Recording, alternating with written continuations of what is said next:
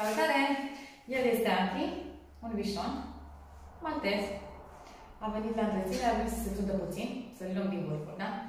Uh, vreau să vă spun cum puteți să întrețineți câinii acasă, adică cum putem să-i periem, cum putem să-i uh, uh, facem în așa fel încât blana lor să nu fie încălcită, astfel încât în momentul în care ajunge la salon, să fie un frumos.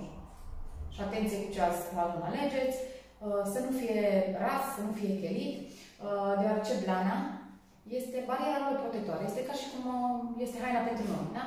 În momentul în care noi îi tundem foarte scurt și mai ales vara și proprietarii vin uh, și spun cât mai scurt, cât mai scurt.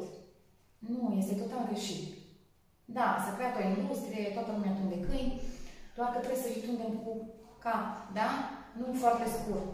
Majoritatea trebuie să tundem foarfecă, să nu-i uh, dezbrăcăm, să-i lăsăm cu blana lor pentru că protejează de ploaie, de vânt, de frig, de soare.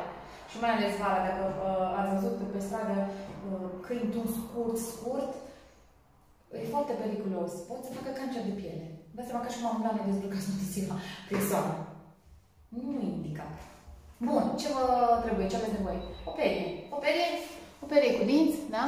Dinții vedeți că sunt îndoiți, nu îi rănesc, nu îi irită, nu se întâmplă nimic. Efectiv, periați în fiecare zi, îi perim în fiecare zi ca să nu se încălcească blanc. Vă arăt și un câlț cum arată. Câlțulețul. Uitați aici. Câlț, câlț. E foarte greu să-i uh, descălcim. Câinele nu stă... Bun.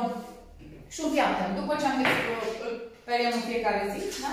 Ca să ne verificăm că nu mai există câlț, puteți verifica că și cu stător, da? Dați cu stătorul în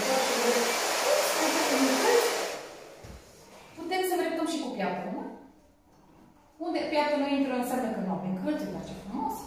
Unde piatră nu merge, ups, înseamnă că avem un câlț. Da? Așa că, mult succes!